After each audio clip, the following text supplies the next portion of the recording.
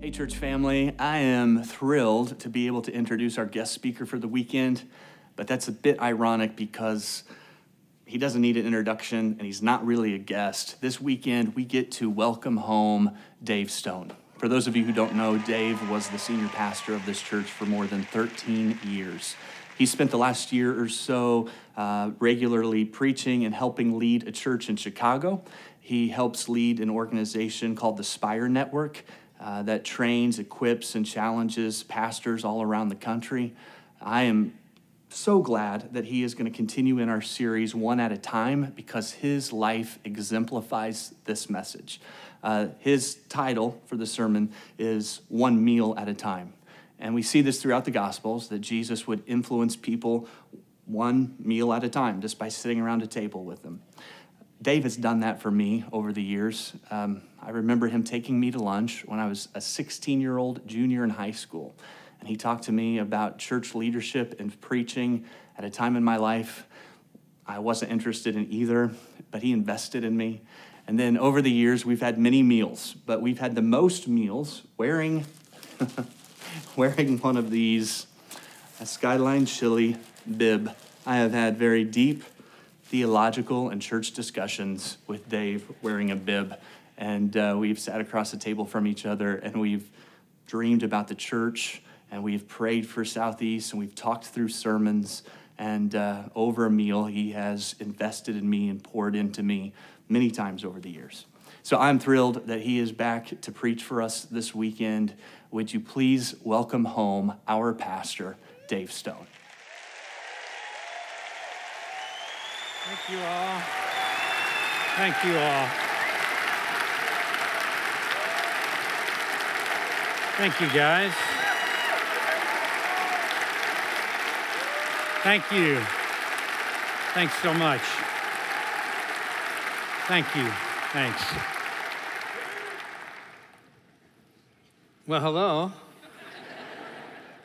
You all look familiar. Uh, it's so good to be back. And, and uh, since I saw you last May, we've been, we've been pretty busy, busier than we intended to be. And um, spending a lot of weekends. Most weekends, I'm preaching somewhere and uh, all, all, around the country, or primarily in Chicago. Uh, speak sometimes for companies or organizations. And so it's been a, a really busy stretch, but I would also be quick to tell you that we feel like we're right where God wants us and that we're being obedient to what He wants us doing in this particular season. Now, I thought in our next chapter, I really thought that God might put us in a place that was uh, closer to our grandkids, or I really thought He'd put us in a place with a warmer climate and, uh, and he sent us to Chicago. And we, we felt like God put us there to encourage and to stabilize and to unify a church that's been going through a rough time. And uh, that commitment was supposed to end at the end of June, uh, excuse me, at the end of December, and we, we just lengthened it through June. And so I preach two weekends a month in Chicago. I'm up there about eight to 10 days a month. And uh, it's different because here at Southeast, I used to preach for about 32 or 33 minutes. And up there, the, their previous pastors used to preach for about 45 or 50 minutes.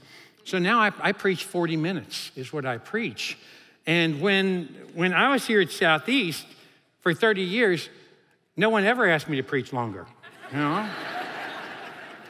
and, and one thing that Beth and I have noticed in Chicago is that sometimes they don't laugh at my jokes. And, uh, you know, I, I, I, thought it was a cultural thing. So I've, I've tried to tell them I'm, I'm really funny. And, uh, but they're not, they're not buying it, all right? But there are some incredible, faithful servants in that church who love God's word, and they've taught us so much about perseverance and commitment, and we dearly love them. Uh, but, but we think we know why God brought that church to us. And uh, I've said this to them plenty of times when they've thanked me. I've said, No, let me thank you all. And I think that God knew, God knew it was going to be really tough for me to be away from you all, and, and I miss you all so much. And so He gave me a ministry that I could do that, uh, that is front and center for me to dive into. And so we're thankful that God led us to that. And uh, wow, how cool is it that Kyle lets me come back to preach? I mean, he's been doing a phenomenal job of leading and carrying out the mission of the church. I think the church has grown about a thousand people since he started leading uh, Southeast, and that is awesome. And I really, I didn't think that his preaching could get any better, but it has.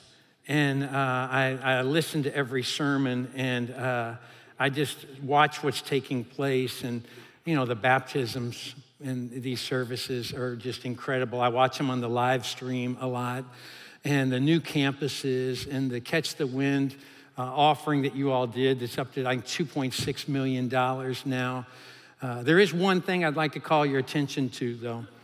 Uh, when, when I was a pastor, Kyle used to make fun of me because sometimes I would get emotional at times in my sermons. And I would say, Oh, I'm, I'm so sorry, Kyle, that God gave me a human heart. Uh, uh, uh, but have you all noticed that in recent months something has changed with your pastor, right?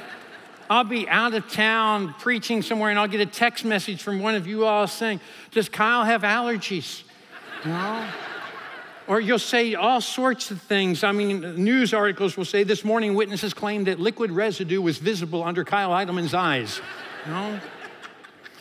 But in all honesty, Kyle's pastoral heart is very evident, and sometimes heartfelt emotion is the byproduct of a shepherd who deeply loves his flock. And that's what you're experiencing, and that's what he's experiencing. Well, we're in a series it's called One at a Time. And this series has been so strong. I've, I've thoroughly enjoyed each one of these sermons and listening to them. The Bible tells us of numerous everyday encounters that Jesus had with one person at a time. And while the world chased the crowds all around them, Jesus loved the person who was right there in front of him. And we've looked at one day, one decision, one dollar, one conversation. And today we're going to see one meal at a time. And for those of us who like food, I mean, now I've got your attention, right? Can you think of any four words more exciting than it's time to eat? And we all rush to the table, right? Well, when, when you begin to study the role that meals play in the, in the Jewish culture, you'll discover that meals were, were quite significant. They were an opportunity for relationships to be built. And our text, if you want to turn to it, is Luke chapter 19 in the New Testament. And the setting of our story is uh, another everyday encounter for Jesus. It's a familiar Bible story. And we begin with, with verse 1. You probably know this story. Verse 1 Jesus entered Jericho and was passing through. A man was there by the name of Zacchaeus. He was a chief tax collector and was wealthy. He wanted to see who Jesus was. So that lets us know that he's never seen Jesus before. This is before social media. You have no idea what this person looks like. You just keep hearing about him. He wanted to see who Jesus was, but because he was short, he could not see over the crowd. So he ran ahead, climbed a sycamore fig tree to see him, since Jesus was coming that way. Now, let me give you a description of how a tax collector was viewed back in that culture. They were like a parasite they were greedy, they were self serving. On the social scale, prostitutes were above a tax collector. Why? Because tax collectors extorted people from their money.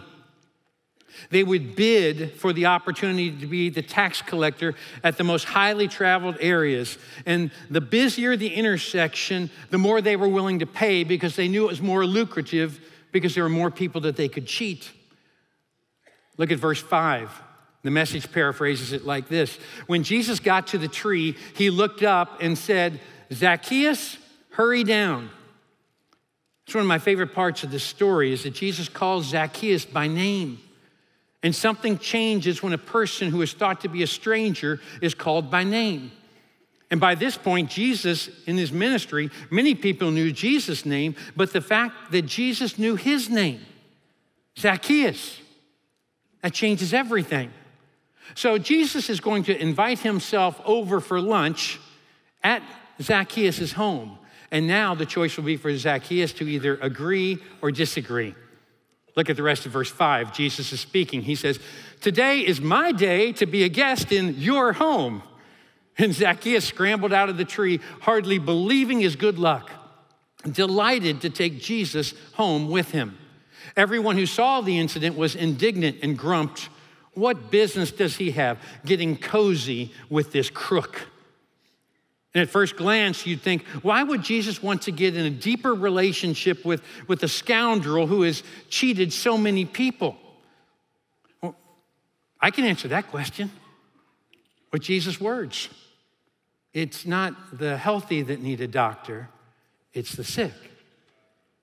That's why Jesus wanted to be with him. The Bible in the translation says it like this when we look at it straight from the Greek. It says, I must come to your home today. Last week, the campus pastors taught on, on John 4, the Samaritan woman, and they talked about how Jesus had to go through Samaria. In the original language, this is meaning this is necessary. In other words, this meal with Zacchaeus, this is a divine appointment. And people are always going to question your motives when you spend time with people whose actions are not honoring God. Going to someone's home for a meal was and is a relational experience. It communicates, I want to build a relationship with you. And what I want to do today is just talk about four observations about meals. Observation number one meals have a way of breaking down barriers. I mean, that's true, isn't it? But why is that? Well, it's because across the table, a person can see and sense your heart because you're not side by side, you're face to face. And the food and the drink becomes a distraction. So defenses come down and conversations flow. And when barriers are broken down, true motives are revealed and friendships are forged. I guess it was about three years ago, one of my, my daughters had been on a mission trip with me in Africa. And before we left the country, we met a server at a restaurant. And we got to know her over the course of, uh, we had two or three meals uh, at that restaurant, and she was our server each time. And, and if it was slow, she would come over and she would talk to us for a while. And, and we liked her, and she liked us. And, and it was so fun getting to know Yvonne. And then we, we got on, on WhatsApp, we got that on our phones. And so my daughter and I, we could stay in touch with her, we could pray for her. She's talked to our whole family at different family gatherings and we video chat with her, and Beth will pray for her, or one of the kids will pray with her. So here were a couple of meals way back in 2017 with Yvonne that are still bearing fruit years later. And spiritual growth continues to take place. We don't know exactly how things unfolded at this meal with Jesus and Zacchaeus, but one thing we know for sure it bore fruit and it continued to bear fruit. Evidently, there was some teaching. There was some Q and A with Jesus. There was some one one by one time where during this meal the barriers began to come down. The barriers that kept Zacchaeus from living a God honoring life begin to break. And that seems to happen when you have a meal where Jesus is present. Meals break down barriers. So make certain that Jesus is invited to your meals. Here's the second observation an invitation to a meal communicates value. Why is that? Well, it says, You are important to me. You are in my life. You are in my schedule. I've blocked out time for you. On holidays, when I was a kid growing up, my, my parents would invite uh, a few international students from the local Bible college to come over to our home for a holiday meal. You see, mom and dad knew that they couldn't afford to fly all the way home, and they didn't really know a whole lot of people here in the States. And the idea of them eating alone and being alone in a dormitory was more than my parents could bear. And so they would invite them to come and be a part of our meal. What my parents did was they gave value to them. When you invite someone to a meal, you are living out the New Testament principle that says, honor one another above yourself. What a contrast from so many in our world who turn the spotlight inward rather than outward. Several years ago, a friend of mine was uh, traveling he was uh, in Louisville, but he was down in Fort Myers for several days. And then on his way back, he got stuck in the Fort Myers airport because there was bad weather. They were canceling flights, they were delaying flights right and left. And you've been in those situations where everybody's angry and everybody's frustrated. And there was a Delta agent that was very efficient, and she was just trying to rebook flights for everyone, one at a time. And there was a really long line uh, right there before her. But there was one belligerent, obnoxious guy who strode past everybody in line and he came up to the counter and he just kind of stood there until finally she looked at him and he said, Hey, I need you to change my flights right now. And she said, You know what, sir? If you'll get in the back of the line, I'm working through this line as quickly as I possibly can. And the man said, Do you know who I am? And then he said it in a voice loud enough for everyone in the gate area to hear. Do you know who I am? And the lady from Delta didn't bat an eye. She grabbed the intercom and she said, Ladies and gentlemen, evidently we have someone here who does not know who he is.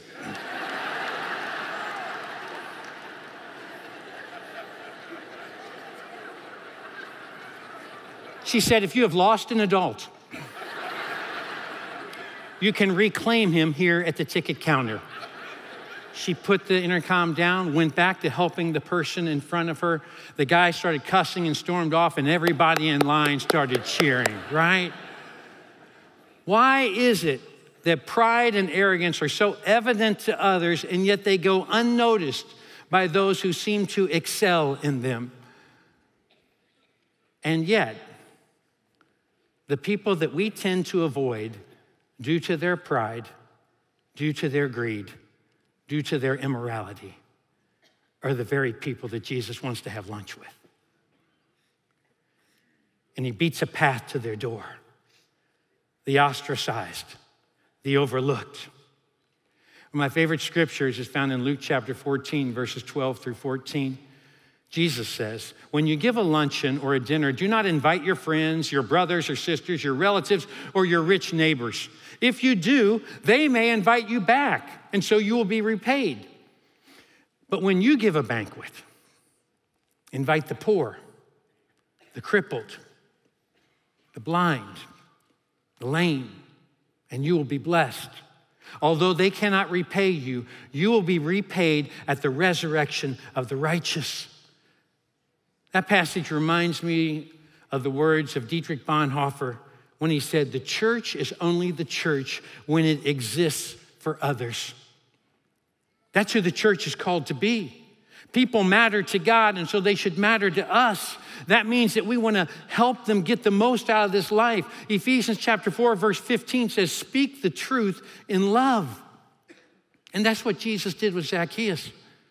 I don't know exactly what he said. I, I wonder if, if Jesus recounted some sections from his Sermon on the Mount and he said some of those lines back to Zacchaeus. Maybe he said, You know, no man can serve two, two masters, for you'll either love one and hate the other. You can't love both God and money. We don't know what he said. But here's the end result of their mealtime conversation. Look at verse 8. Zacchaeus stood and said to the Lord, Behold, Lord, the half of my goods I give to the poor, and if I have defrauded anyone of anything, I restore it fourfold. Wow. That leads us to the third observation meals can lead to transformation. Meals can lead to transformation. All of a sudden, on one day, Zacchaeus makes one decision because of one conversation at one meal, and the result of it will be it will alter the way he views one dollar for the rest of his life. And Zach's going to be a busy man because the next few months he's going to be spending his time righting wrongs and making restitution and asking people for forgiveness. You see, repentance will always cost you something. Always. But what you gain in forgiveness and freedom and fulfillment far outweighs the price tag. My pastor friend Ashley Wooldridge says it like this The only way to become who you want to be is by inviting Jesus to change who you are. And when Zacchaeus agreed to having Jesus over for lunch, it was an invitation to draw closer. He was communicating, I'm open to change. And after the meal, this tax collector then made the difficult choice to allow his newfound relationship with Jesus to transform his behavior. Repentance will cause you to make a change in the direction you are heading. And like it was with Zacchaeus, maybe it's in regards to your, your spending or your savings or your giving. Maybe it's something totally different. Maybe where Jesus wants to make changes in your life is in your language, the way you talk to people, maybe the way you treat people. Maybe it's your sporadic church attendance. Maybe it's your friendship circle. Maybe it's who you choose to date. And the change of heart and change of direction can display itself in a variety of ways. But don't miss this. The height of your transformation will be determined by the depth of your repentance. Zacchaeus dug deep. And if you are just changing things on the surface and not down deep within, then the change will be short lived. You know, things don't usually change overnight like they did with Zacchaeus. But sometimes one meal can lead to one more and even open doors that, that we weren't expecting.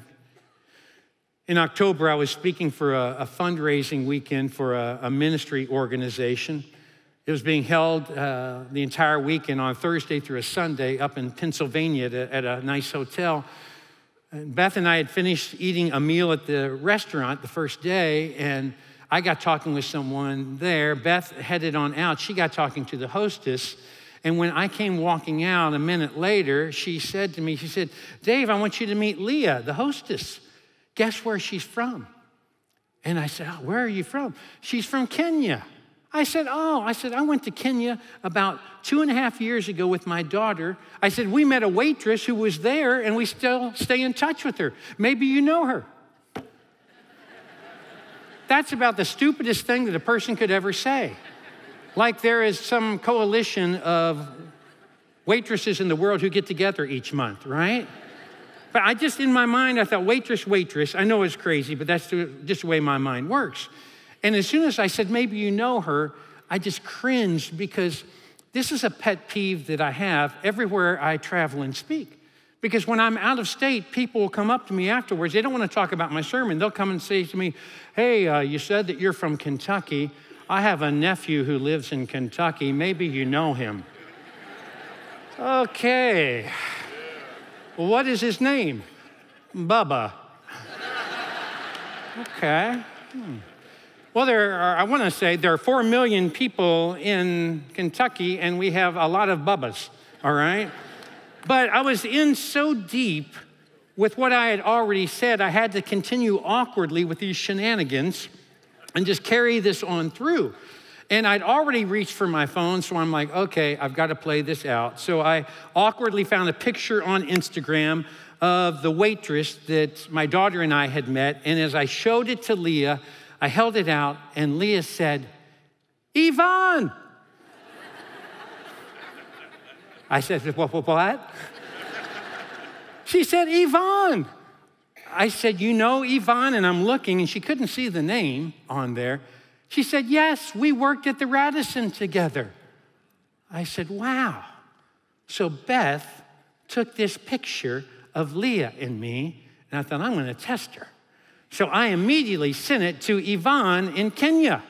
Within one minute, I got a reply. It said, Leah.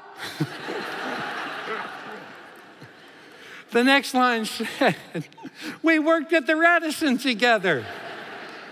And then she said this She said, We lived in the same neighborhood.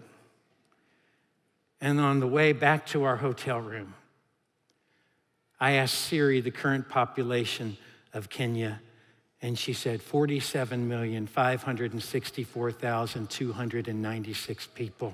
Our God is a powerful God and a personal God.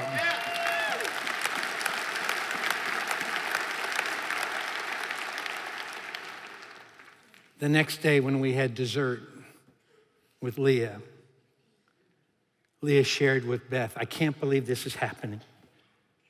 She said, I've lived here two months. I don't have any friends here. I miss my family so much. I am so lonely. And God just put us in her path. On Sunday morning, she came to a worship service that I preached at the hotel. She says the first time she'd gotten to worship because of her work schedule in the two months she'd been in the States. God loves to orchestrate meals and conversations. He loves to intersect people one at a time. And one meal in Kenya can lead to one dessert in Pennsylvania. 2 Corinthians chapter 2, verse 15 says, For we are a fragrance of Christ to God among those who are being saved and among those who are perishing. And that, that phrase means that through your conversations and meals, you are to bring the, the sweet aroma of Jesus Christ to who? To those who are saved and those who are perishing. That means that our meals are to be for those who are Christians, those who are not yet Christians.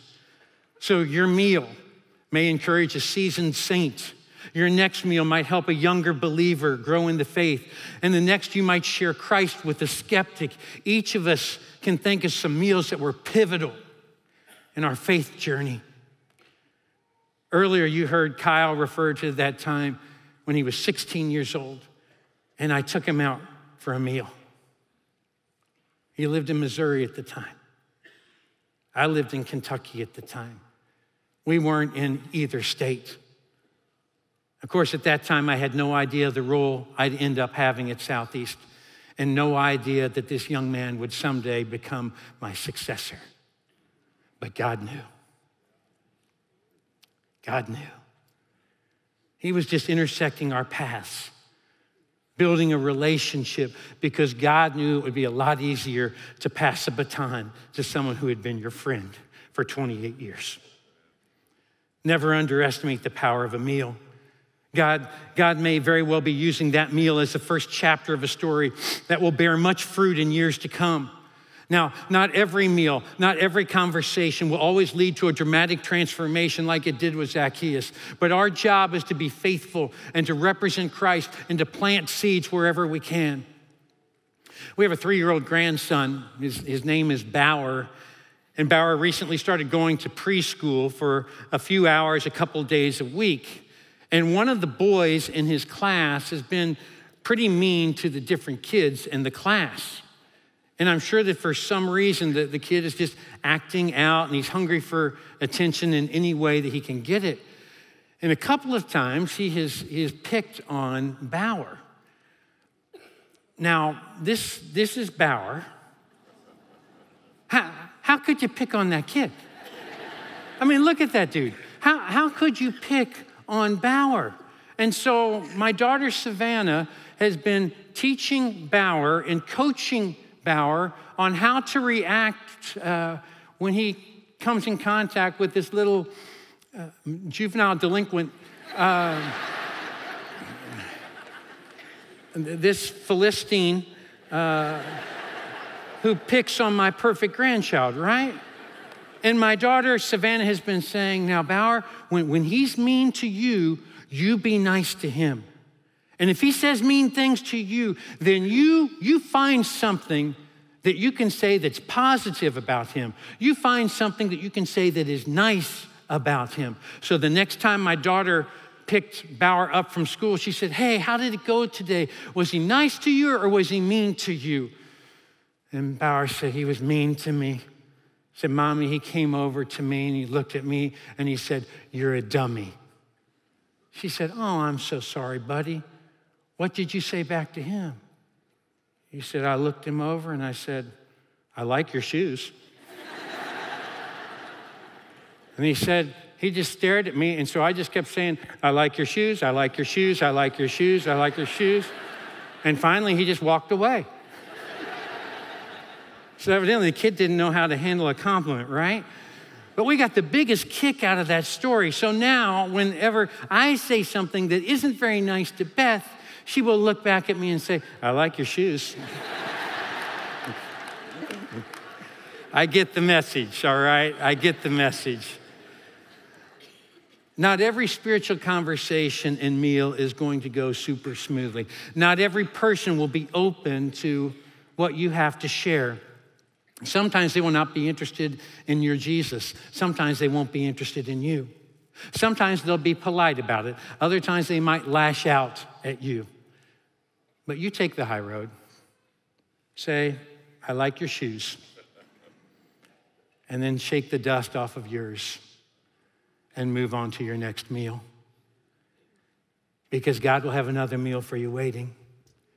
And when you pray for those opportunities, He'll bring those opportunities. Then it just comes back to whether or not you'll take the risk and go for it.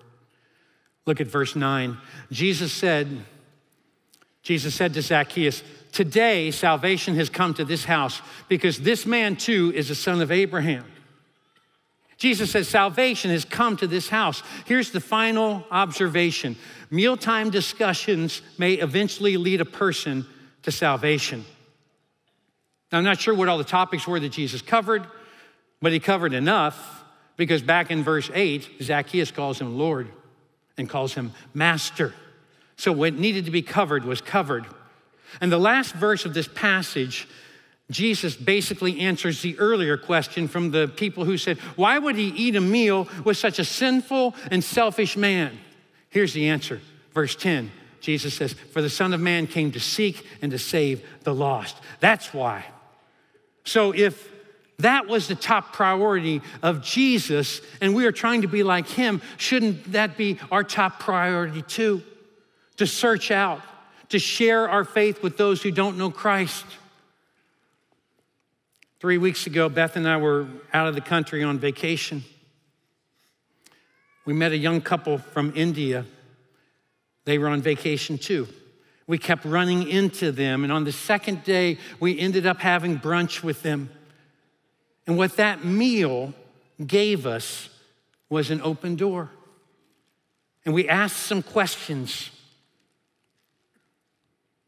And they opened up. And they shared with us about an incredibly painful experience that, that they had gone through earlier in their life. And that allowed me to ask about their faith and their religious beliefs. And, and while we ate, we listened to their beliefs, and their beliefs were vastly different than ours. And then I thought, well, since we listen to them, maybe they'll listen to what we believe.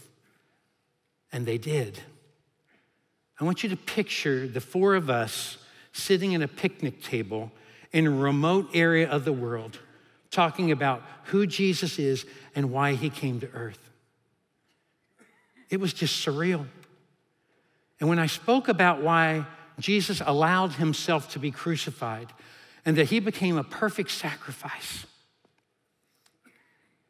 who paid for all my sins and all of Beth's sins and all of your sins. The young lady looked back at me and she said, Oh, wow, I've, I've never heard that before. I never knew that. They didn't know the Easter story. So we got to share how we believe Jesus came back from the dead, and that's why we can have hope each day. That's why we don't have to fear death. That conversation never would have happened, never would have happened if we weren't in a meal setting, face to face, all by ourselves, with no interruptions. In your daily life, tables can become places of testimony, and meals can provide a method for a greater message. You may be thinking, well, uh, Dave, you, you, you live over 8,000 miles from each other. Do you seriously think that because of one meal with a Hindu couple, that they're going to put their trust in Jesus Christ? Well, here's what I know. I read from a book that says nothing is impossible with God. I pray to a God who specializes in radical transformations. I preach in churches filled with people who were far from God until Jesus Christ transformed their heart. That's what I know. That's what I believe. And I firmly believe, I firmly believe that God can take one meal and can lead to more conversations and more dialogue. And in the past two weeks, it has. And so we pray for them each night by name. We pray that Jesus will reveal himself to them. Prayer is an invitation for God to do what we cannot do. Amen. You say 8,000 miles, 8,000 miles is nothing for him. if he can match an Yvonne and a Leah up, 8,000 miles is nothing. And one of the texts that they sent us last week, they said, We feel like we've known you all for a long time. That's the power of the Holy Spirit. Our responsibility is to search out and share our faith with those who don't know Christ. Our job isn't to save them. Our job is to lovingly lead them to the one who can save them. Romans chapter 1 verse 16 says, "I am not ashamed of the gospel, for it is the power of God for salvation for everyone who believes." I am not the power. You are not the power. The gospel is the power. The good news of Jesus Christ that he died, that he was buried, and that he arose again. Our job is to plant seeds. He is the one who will give the increase. And this story in Luke chapter 19 greatly encourages me. The fact that Jesus sought out Zacchaeus and that he wanted to eat with him, that he wanted to give him value by eating a meal with him in his home. The perfect Son of God coming to hang out with the lowest rung on the social ladder in all of Jericho. That encourages me. You know why? Because I know myself. Can I tell you something? You see me at my best. I know me at my worst. And if God would, would break bread with such a sinful man like Zacchaeus, then that means that he loves and cares about this sinful man. And he cares about you too. And he still specializes in transformation. I wonder what tables, I wonder what meals God has set before you if you would just have eyes to see how he is moving, if you would just have a boldness to get out of your comfort zone. Starting conversation with someone may really take you out of your comfort zone, but Christ like compassion will always involve a risk and a reach. And if you pray, if you pray, God will give you those opportunities. And if you pray, God will guide you in what it is that you need to say. And He will open doors for opportunities for, for coffee and conversation, for dinners and dialogue. He just will. So, the table is ready. It's time to eat. Let's pray. Father in heaven, I, I pray that this week there will be many invitations made for meals, that there will be last second invitations to impromptu Super Bowl parties, that there will be people who uh, decide to break down the barriers through a simple invitation to eat bread, to drink together. Lord, we ask you to move in such a way and Lord, may each of these meals lead us to the day when we will have a meal with Jesus Christ at the wedding feast of the Lamb for all eternity. We ask all this in the powerful name of Jesus our Lord. Amen.